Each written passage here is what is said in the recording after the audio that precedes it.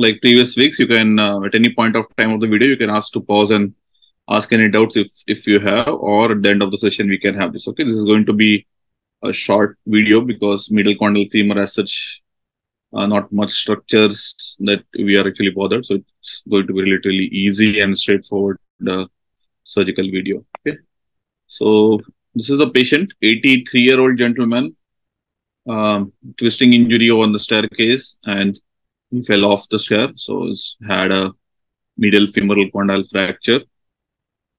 So as we can see, entire condyle going lateral to the intercondylar part is gone. Okay.